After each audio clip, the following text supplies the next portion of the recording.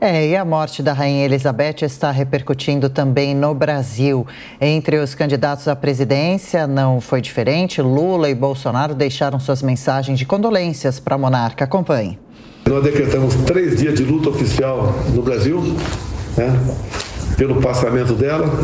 É uma senhora realmente que foi um exemplo né, é, para o mundo, é, uma, a função que ocupava é, teve problemas familiares, né?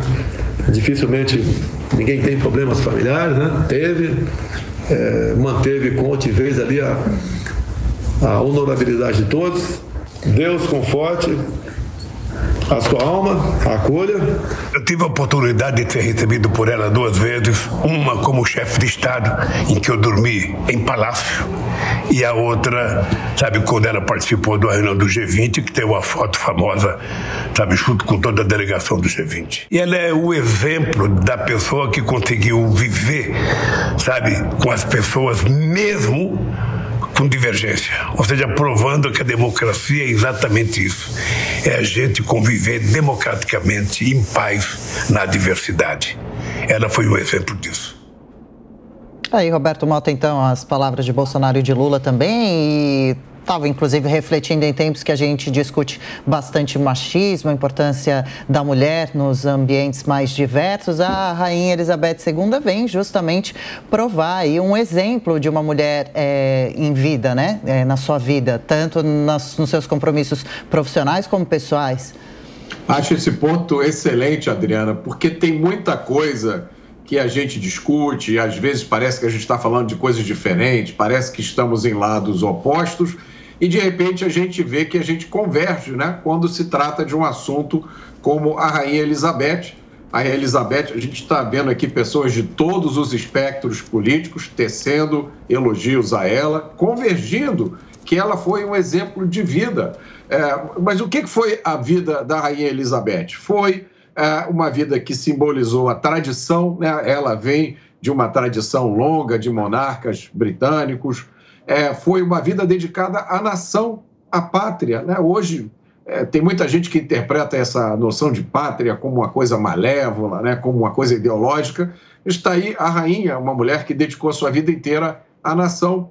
É, a rainha também representa a família.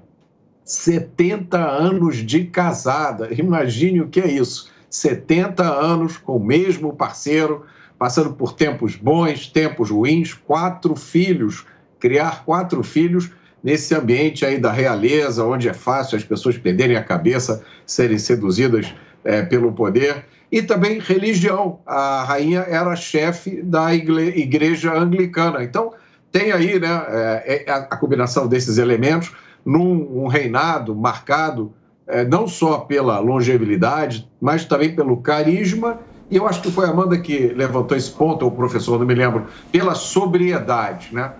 Por uma pessoa que não se deixa levar pelas tentações do poder, uma mulher que, pelo que foi falado aqui, tinha uma fortuna de 500 milhões de libras, mas levavam a vida ali, lógico, a vida de rainha, mas não era, não levava, tem milionário, tem cantor, né, que leva a vida mais extravagante do que a, a rainha levava. Então é importante a gente perceber como no momento em que a gente se reúne para admirar uma figura como a rainha, como a gente converge em coisas que no dia a dia parece que a gente está tão distante. Eu acho muito legal isso, muito bonito. Pois é, antes de passar a palavra para Amanda Klein para sua análise, vamos acionar nossa repórter diretamente do Reino Unido, Débora Cisco, que vai trazer as informações de momento e os detalhes em frente ao Palácio de Buckingham, salvo engano. Débora, suas informações, bem-vinda.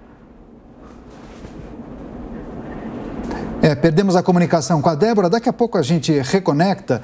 Eu vou rapidamente passar a palavra para Amanda Klein. Amanda, falávamos justamente sobre as repercussões com os líderes mundiais, mas também os líderes brasileiros enaltecendo ah, aos 70 anos de reinado da Elizabeth II. E aí eu fiz uma rápida reflexão que isso acaba sendo também uma grande responsabilidade para o novo rei Charles III, né? Manter o legado de sua mãe ou promover mudanças? Eis a questão. Eu acho que se ele realmente fosse promover mudanças, aliás, era uma especulação que sempre aconteceu no Reino Unido, seria ele renunciar em favor do filho dele, mais novo, próximo na linha de sucessão, que é o, o, príncipe William, agora que já ganha até novos títulos herdados justamente do pai. Mas, pelo visto, não vai, não vai acontecer, até porque o Charles esperou 73 anos para assumir. É, foi o, o, rei, a pessoa que esperou mais tempo, o príncipe que esperou mais tempo para assumir um trono. É, eu acho, sobretudo, se a gente fosse adotar uma palavra da moda para definir um pouco a, a Rainha Elizabeth, seria a isentona a, Rainha Elizabeth, ela nunca expressou, ou em raras ocasiões, eu não lembro de alguma, expressou paixões políticas ou preferências políticas ou por, lado, por um lado é, do espectro político, era difícil saber o, o, que a rainha pensava.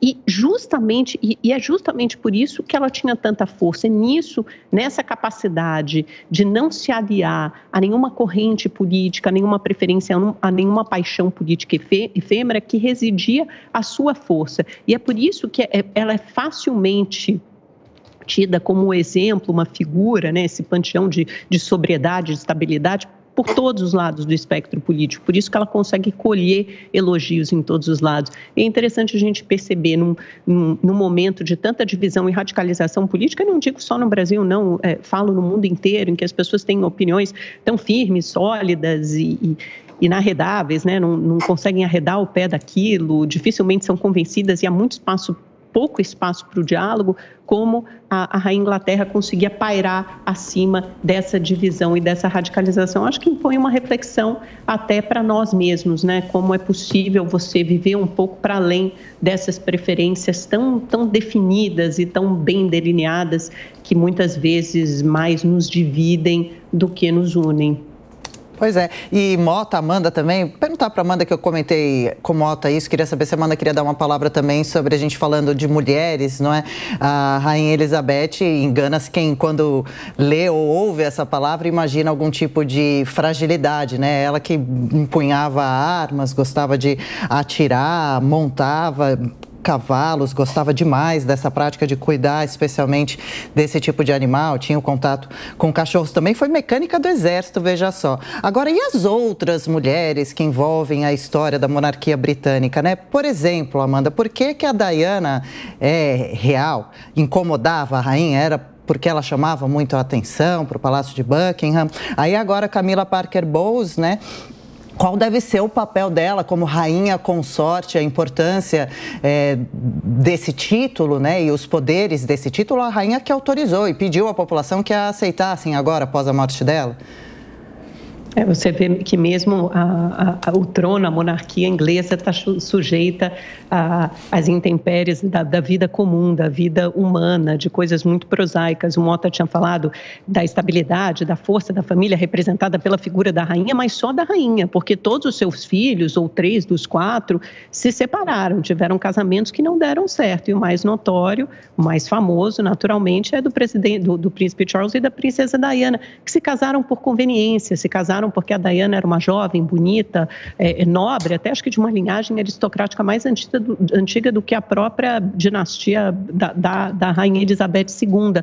Mas não se amavam. A, a, o amor da vida do Charles sempre foi a Camila. E houve traições dos dois lados. Então, nada mais comum, nada mais mundano do que isso terminou daquele jeito trágico, né? primeiro com o divórcio, a separação, depois, a, a, naturalmente, a morte da Diana, que pesou muito para o país inteiro, gerou aquela onda de comoção. Foi o momento em que a rainha teve a sua popularidade talvez mais questionada, ou, ou teve uma, uma baixa na popularidade, porque ela demorou a se expressar, depois conseguiu contornar e retomou é, a, a, sua figura, essa figura de, de um porto seguro mesmo. Agora, como, como mulher, é muito interessante isso, Adriana, até pela sua figura, ela foi mecânica, né? não foi enfermeira durante a Segunda Guerra Sim. Mundial. Talvez fosse um papel esperado das mulheres, mas ela preferiu ser mecânica.